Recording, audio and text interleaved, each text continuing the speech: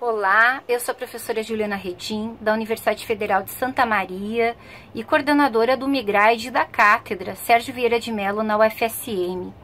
O MIGRAI de Direitos Humanos e Mobilidade Humana Internacional foi instituído em 2013, com o objetivo de promover o direito humano de migrar e fazer frente a um dos maiores desafios de direitos humanos na atualidade, que está na agenda das migrações internacionais. Isso porque a xenofobia ela é estrutural, ela está na concepção do Estado-nação. Por isso é tão difícil avançar no reconhecimento de direitos e de políticas públicas para a população migrante e refugiada.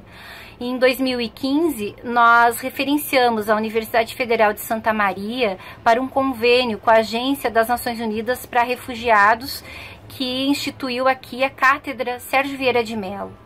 Também, ao longo dos seis anos de atuação do Migride, nós ampliamos a nossa pesquisa para seis linhas no direito, ciências sociais, letras, comunicação social e também psicologia. E uh, ampliamos a nossa extensão pelo Programa de Extensão Assessoria a Migrantes e Refugiados.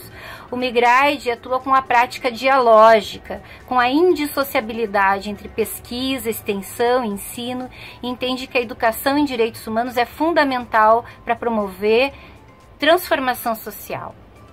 O Migrade atua no acesso e reconhecimento de direitos, integração local da população migrante e refugiada, ações de combate à xenofobia.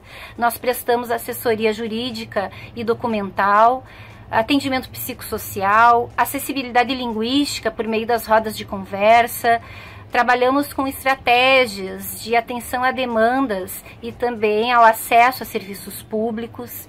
Nós trabalhamos na formulação de políticas públicas, a exemplo, a política de ingresso de imigrantes e refugiados na UFSM, formação de agentes públicos para atuar no acolhimento, no atendimento de imigrantes e também nos processos legislativos. Contribuímos com uma nota técnica à nova lei de imigração que foi útil aos debates nesse período histórico de instituição de um outro paradigma sobre as migrações no Brasil baseada nos direitos humanos. Então, o Migrage ele tem compromisso uh, com o debate essencialmente de direitos humanos das migrações internacionais.